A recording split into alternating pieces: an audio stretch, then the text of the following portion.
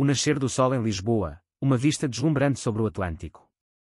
Lisboa, a cativante capital de Portugal, é abençoada com uma das vistas mais espetaculares do nascer do sol sobre o Oceano Atlântico. A cidade, que se estende ao longo das colinas, proporciona um cenário pitoresco para quem deseja testemunhar o espetáculo da aurora.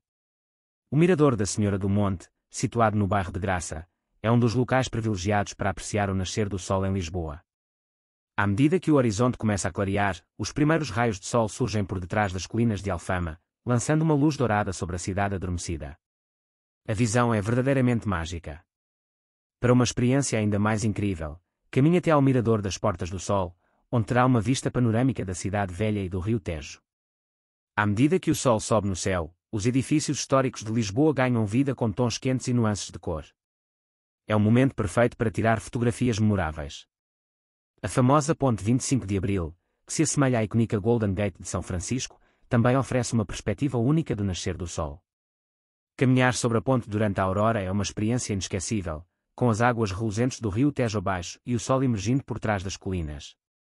Lisboa é conhecida pelo seu clima ameno durante todo o ano, o que significa que pode desfrutar do espetáculo do nascer do sol em praticamente qualquer estação.